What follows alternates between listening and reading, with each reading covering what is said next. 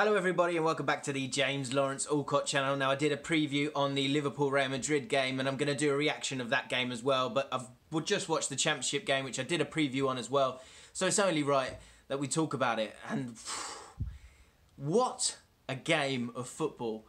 The scoreline doesn't showcase what a great game of football that was, and I think both teams can can walk away from that game thinking they gave everything. The players gave absolutely everything, and there was so much action, so much going on, and for me, did Fulham deserve to win that game? I mean, who cares? I, I, I don't really want Fulham winning any game of football. I'm a QPR fan. But they were brilliant in the first half, and I think uh, it was interesting to see how it played out because you had the first half where Fulham were just far too good.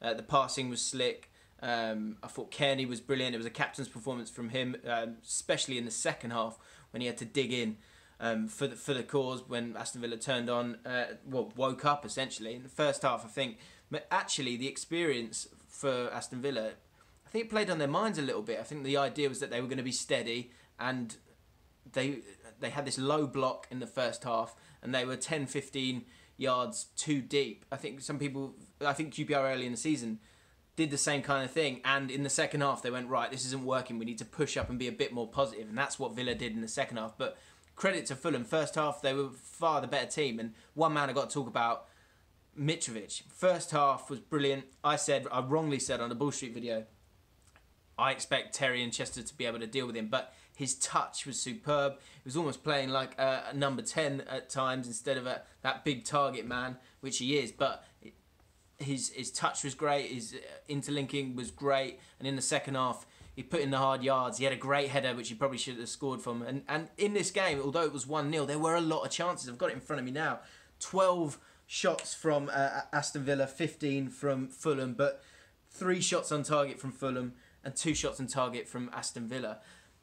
Aston Villa second half, I thought were, were brilliant. I think Fulham, um, Aston Villa fans can go away from this game and think yeah, we had some chances there. Hogan had a great chance. Grabban had a great moment in the six yard box where he laid it off to Grealish, but it was a little bit too late. And Jack Grealish, I mean, lucky to stay on the pitch, but what a player to, to watch. You could see his ability to retain the ball, uh, even when his touch isn't good, which you saw for the uh, sending off with Dennis Odoi. He was kind of unlucky because it's one of those ones where a mistake from Grealish in terms of his first touch has actually led to Odoi getting sent off. But Grealish was, I mean, he stepped up for this cup final. He, he, he took the game by the scruff of the neck, neck, but I think he was let down a little bit by the players around him. Adomah was kind of in Fredericks' pocket. It never really got beyond him too much. Um, a few moments in the first half, but second half, not that he ran out of steam, but as dominant as Villa were, his final ball wasn't that great, and he didn't really beat anyone either. Um, and on the other side, Snodgrass, who you were hoping you would get some kind of quality from at some point. Again, the ball was all down the left hand side for Villa, but he didn't really create anything at all. It was all down to Grealish, and he did his best. But I mean, he nearly scored an absolute wonder goal, but it wasn't. It wasn't enough. Fulham have done the job. I think people have spoken about them being bottle jobs in the past. They're obviously not. That tackle from Norwood on Hourihane was a great example of that. Jokanovic, great manager. He's done it before. Uh, he's done great stuff with Watford in the past. He is clearly a very good manager, and he was able to deal with uh, Fulham going a, a man down, and and was able to kind of see out the game, which they did brilliantly. Showed the different options that they had off the bench. Christie coming on for Fredericks, who I thought had a good game, but another one who he should have been definitely sent off in the first half. All these decisions make a different game of it. Grealish going off when they had momentum, or Fredericks going off, and Denis Odoi, of course, going off. But ultimately, Fulham won't care. They are in the Premier League. And over the course of the season, I think you can fairly say that, that, and certainly over the last two years, you can say that this team, that team that he's put together, totally deserves to be Premier League, playing Premier League football. And I think the quality that they've got on the pitch, they can, they can, they can do all right in the Premier League. They're, they're they've got the ability to keep the ball well enough uh, with a couple of additions to them. Maybe at centre back, I think Odoi.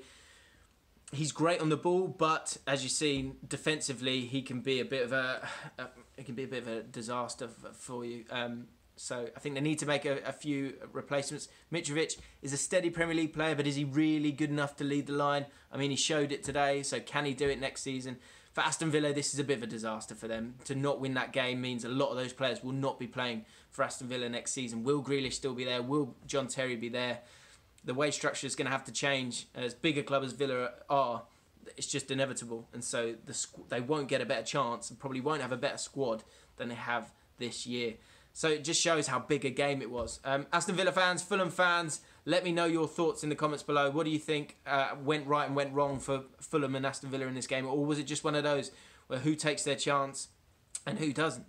Let me know in the comments below. Uh, check me out uh, later after the Champions League final. I'll be doing my uh, neutral one reaction after Liverpool versus Real Madrid.